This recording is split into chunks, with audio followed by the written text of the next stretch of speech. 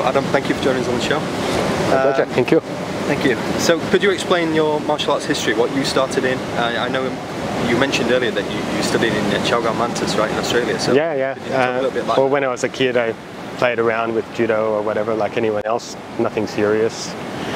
Then, yeah, in my teen years, 16 I guess, I started doing, yeah, Chow Gar and went hardcore into that, so.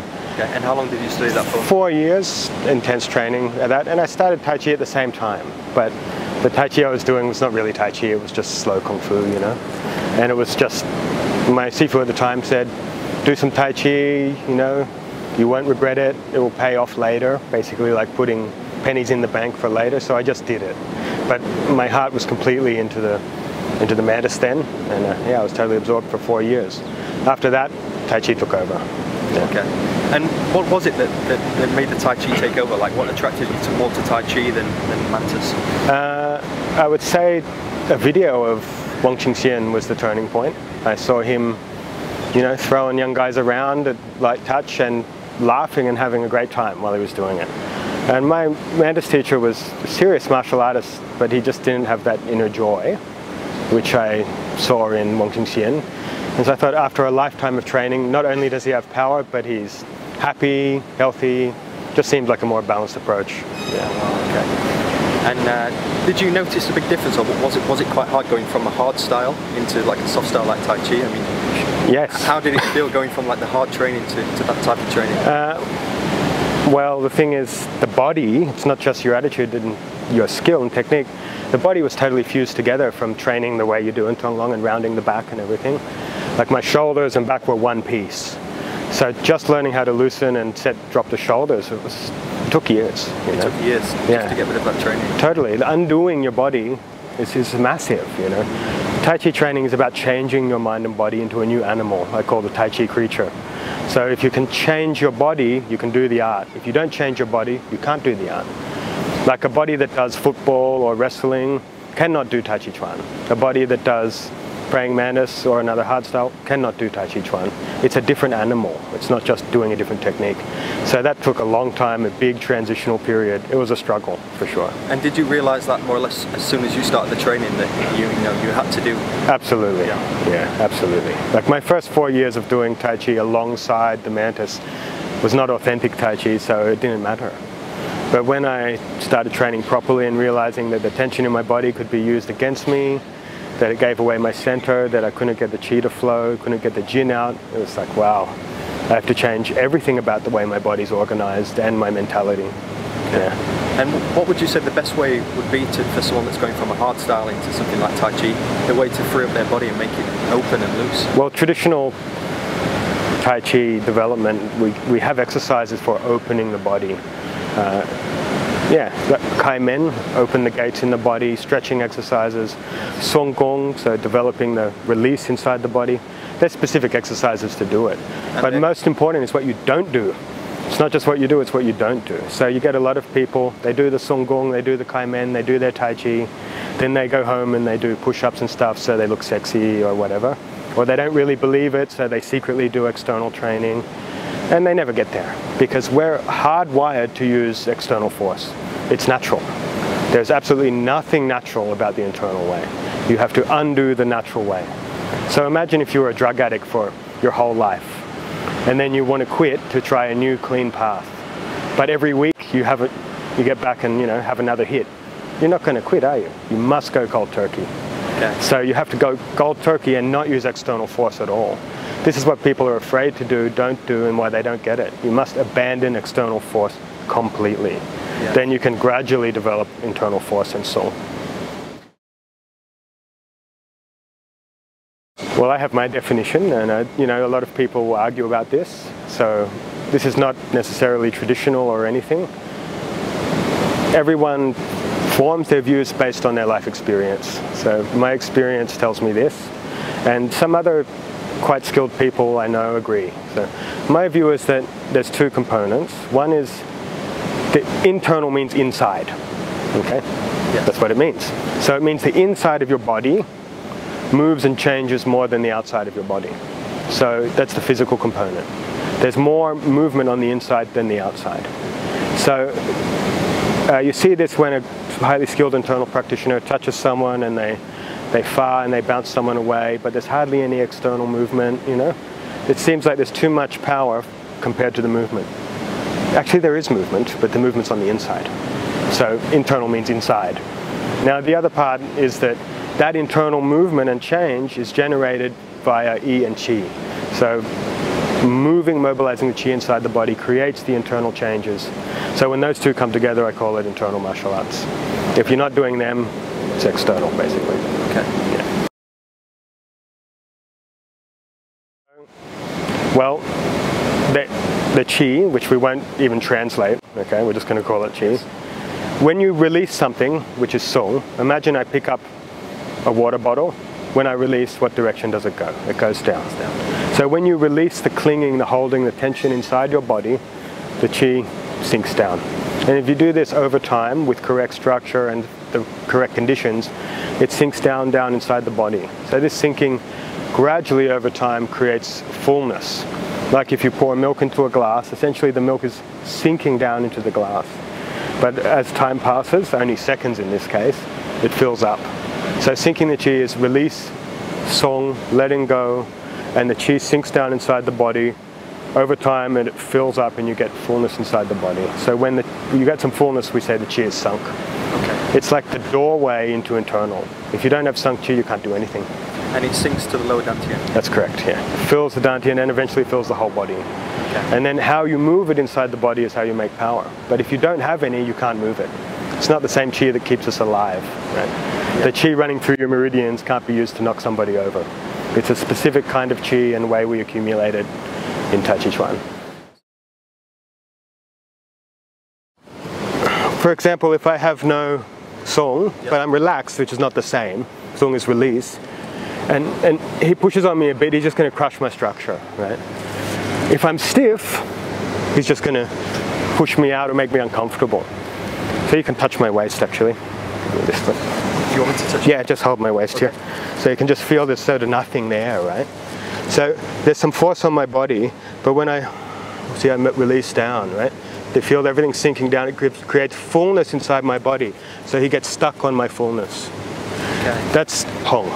Okay. When So- you have so you can fight Jin. What exactly was you doing in that area? So you're just mm. releasing, Releasing the whole body. and that's why it felt like everything dropped Right. because of the release. Right. Now, because of that release, I can get some fullness inside my body. So when I move inside my body, I move the chi, he's going to go.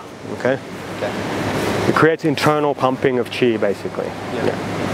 So at that moment, so you, you're saying you're releasing. So Right. Is it like a synchronization that you're doing to release? Yes, but it- it's not just synchronizing the whole body. Definitely not. It's No. a movement inside. Waves, waves of power would be the best description, because the chi is like fluid. We always talk about chi and blood being together. Yes. So it's a wave through the fluid, through the chi, right? And transmits through waves, not through balls and levers. So a lot of people sort of dig under and push up or Yes. use angle tricks, and that's legitimate kung fu, but it's got nothing to do with in Tai Chi Chuan. Right? Uh, we're not talking about balls and levers, it's actually waves to move the chi through the body to generate power. Yes. Yep. Okay. So if you just if he touches very lightly, no no force. So of course if somebody's very stiff, it's easy to control and they're clumsy. Yes. But if they're light, they're very hard to control because they can change, they're free. But light and soft is a relative. If I'm more released, more sung than him, he'll still feel stiff compared to me, right?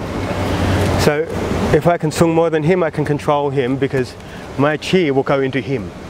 My fullness will affect him and then I can throw him out. So it's dependent on my song to control him. If I'm stiff, he controls me. So whoever is more released has the advantage. That's why Tai Chi Chuan's all like calm and soft and we, we want to release the tension in mind and body. Say if you hold your hands up. If I touch you, so if you're super light, like it's harder for me to feel the hardness in your body, right? But if I release a little bit more than you, you, you don't feel so light anymore. Hmm. So you be really relaxed, but still, you're not actually that relaxed. Yes, there's Right. still tension there. Yeah, so of course if you're really stiff, I don't need to use any song, you're just going to be right there for me, right? So I can feel the tension in your body and throw you out. Now if I'm not sung and you move, I have to use technique, right? Yes. But if I sung, you're going to feel uncomfortable, right? So the hmm. moment you're uncomfortable, I have your root. When I have your root, of course, you can fire, you can strike, you can do whatever you like. Yes. In fact, Fajin is not for fighting. Okay. It's a way to train the power. You should hit them. It's depend, totally level dependent. Uh, there are stages when it goes to the ground. There are stages where you turn it off the body. There are stages when it disperses inside the body. So you can choose where you want. It's more like year after year as you train, you change. Yeah. There are stages where it's no longer entering you at all. Yes. It's uh, Yes. So what's the first one? The, the, the ground. The initial one goes down. Yeah. So I'll, I'll get you to push again, Curtis. You can feel my leg actually. Okay. So if he pushes on me, and I'll use ground force first. So we'll do it through the arms. Uh, so he pushes. Now you feel my squeeze the muscle. Yeah. Right. So because I'm bracing. So that's normal physics. That's that's okay. It works, and you have to do that to build your structure. But if I empty out my body more, so it gets transformed, nothing in the leg, right? Push. It's not going into my leg, so I can just transform the force. So stage dependent. What you do this week is right this week. Next week, next year. People get too caught on ideals and fixate. It's a changing process, yeah. What is right tomorrow might be wrong later, and so on. Recent debate that I saw online is people are talking about Tai Chi is a long range art, it's a long fist, and it doesn't have short range techniques or short range applications. What's Right. your views on this? No, No. it's Tai Chi Chuan is at the range where you can touch somebody. Okay. That's it. So that could be body. It can be here. I mean, we have endless techniques of the body. Endless. So if if it's out here really far away from me, we'll just talk about push hands for now. Okay? If it's really far away, okay, right? Okay, look, so far away. If I can still uh, project my chi, song, feel, I can still control, right? Now, if it's middle, then it's middle, okay? If it's the closest, cuddle me, right? Then this is the contact point, you see? I can use this. It's whatever we have. We can't choose make life perfect. Hold on a minute, let me get in closer. It just doesn't work like that. The moment you touch, Tai Chi Chuan begins. So we call it the art of one touch. So we don't scramble for a better position. What you get is what you get and then you work with that. Now, saying that, we prefer to be in close. You prefer to be close. Yeah. For what? For what reason? Uh, more control, bigger power output. Oh, okay. Yeah. Also, most people need distance to make power, but we can make power very short. So we're inside of their power range. Yes. They can't strike. The, the ideal is neither grappling range nor striking range, Okay. halfway between. Body to body is too close for grappling, out is too close for striking. We want to be at the push hands range, which is you can grapple and strike freely, but if you do Tai Chi, but it's not quite close enough for conventional grappling, and it's not quite far enough for conventional striking. okay, that's what that's we like. It's a middle close range. Yeah. Most styles would call it close range. Right, so everybody's fascinated with Fajin, but in fact Fajin is basic. It's like entry level skill, says you have some internal stuff going on. Now people demo it because it shows you have some internal stuff going on, and because you can see it. Plus it looks spectacular. Najin's more invisible, and very few people have the real thing. So in Tai Chi Chuan it doesn't mean locking the joints or like that, it's, a, it's more like freezing the person. How do you do it? Well, you have to be more sung than the other person. If the other person is stiff compared to you, of course, it's easy to move them. If you imagine a, a little iron bar, it's easy to move, but a chain, not so easy. Now that's very crude, Yes. but it's pointing at the idea. The more stiff they are, the, they are, the more tangible they are, the easier they are to move. So if you're just just touching, more like push hands. So seizing when I, it just captures his body. Okay, because I'm sung, released, and my chi goes into him, it kind of grabs his tissue. So I use it to grab his tissue. Now when he tries to move, he's at, under control. It's to my advantage. Now doing it in push hands is a lot easier because no one's trying to beat you up. Hopefully, right? Yes. you should be sticking, working together. It's a training tool. It's not a competition. Of course, in striking, yeah, it's harder. Much harder. So sticking and seizing work together. Okay. In Tai Chi Chuan, we, call, we talk about stick, adhere, join, follow. So this is the process of how we interact. It's the tactic of Tai Chi Chuan. It's different to sticking in, say, Wing Chun or something like that. Okay. Uh, the primary difference is I'm not trying to stick to my opponent. My opponent is stuck to me. If I try to stick to my opponent, it's it's easy if we're both doing push hands. But if he's a boxer and he's cracking jabs in and out, no, can't do it. You will fail. But if they're stuck to you, you're not really doing anything. You maintain the conditions inside your body, which there are many, but the primary one is release, sung, then they get stuck. And you don't have to do it. So you can actually use it then. Okay. Okay, so if I'm just released and relaxed, but I don't have the real conditions, and he throws the punch, and I try to stick it, I try again, I still can't do it. I just can't, can't do it. It's too quick. Yes. But if I release properly, not relax, release properly, and I get the na inside my body, hopefully I should be able to capture and stick to his motion. Now, that should seize him up so he gets stuck. When he gets stuck, I can do things. Yep. If he's not stuck, we're always going to be even Stevens. That's no fun. That's fighting. We don't want to fight. We just want to control and win. Okay. Fighting is it's too dangerous, right? If I'm more sung, so I have control. Of course, we don't just want to push them over. We want to finish the fight. So we stick na and then strike or throw a kick or do whatever you want to do. Right? We strike and we finish. Right? However you like. It can be just really subtle and you strike. It can be any contact point. When you stick, you control. If you don't want to control and they just strike, you just control and you don't want to do anything, they get stuck. The moment they're stuck, you have control. When you're frozen, it's easy to lose. When your opponent's frozen, it's easy to win. But if he's quick and I'm not doing it, it's just, it's too scary. Yes. Like, you know, you've got to run away and try and overpower them. Yes. But if you can seize, you can win. Now this is kind of the important skill in Tai Chi Chuan. And it's the one that people can't do. Actually learning how to fajin, yeah, many people can demo that, but then when you move, they can't do it. So you see a lot of teachers, okay, no, just touch me here, no, no, uh, adjust, touch me here, let's make it all perfect, and oh, boom, okay. It's like a Qigong master. Yes. You have Qi, but it's not Kung Fu, as in it's not martial arts. So moving that Qi is great, but you have to be able to apply it to a moving person.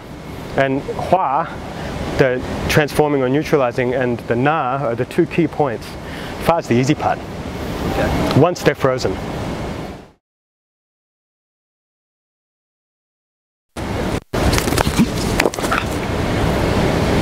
Do something more yieldy. So you stop them before they come in. That's one way. Yes. Yeah. More yielding. Yes. Or if you let him in, then on unusual. Sorry. and far. Of course, it's no good if you get to there, but life's not perfect.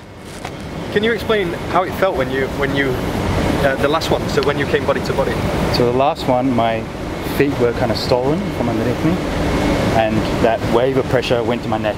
Okay. So that's why I couldn't, I couldn't break fall in time. Okay. It was like, it was too sudden. I'm, I'm up and then I'm on my back.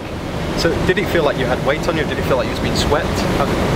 There's, there's a few things going on at once. Okay. It's kind of like a car accident. You don't know what happened first. Where was the whiplash? Was it this? Was it that? It's just like my feet are gone. I'm on the floor. It's a perfect description. Like even when you have a small car accident and you don't get hurt, but you get that boom, and you sort of your mind gets shaken out of your body. That's what it feels like. feels. Yeah. Yeah. So then you can't prepare for it. Like you said, you can't break. That it was, a, it was like a shock. Yes. The, the classic saying is, like like thunder, so fast you, you can't cover your ears.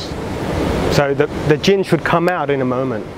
That's one of the advantages of not having to use throw your body mass like external force, Yes. which is powerful, right? And it works. But it has disadvantages. One is that you can see it coming. They might still be too quick, but it has a time continuum. But the jin is kind of like thunder, too fast, you can't cover your ears. That's at least what we want, right? So boom, straight on. So, so when the opponent's going to come, whether he's going to throw a, a punch or he's going to grab you, do you do you already have in your mind what you're going No. to do to the opponent? No. Definitely not. Stick it here, join, follow. We follow what's happening. If I had in my mind, say he had me in the grapple, right? So you just do a motion, slow motion, Ramsey. So he's going to throw me like this, right? If my mind was to push down here and he was doing that, I'd give him my force. So he'd throw me, I'd become hard. When he moves, I have to follow what he's doing. Right? So you don't oppose the force, you don't resist it at all. No, we, we change with it and eventually basically they make an error. It's, yeah, the sticking and following, that's what push hands is for. A peaceful, non-threatening way to learn how to follow forces. Yes. How to adjust, how to change with forces. It doesn't mean you can't go against. Okay. You can, but it's, it's less classy, basically. Yeah. So sometimes, because life is imperfect, yeah, you're going to clash. And then the amount of your Neijin, the amount of your internal force is what saves you. You basically overpower them at that point. But that's it's an error in Tai Chi Chuan.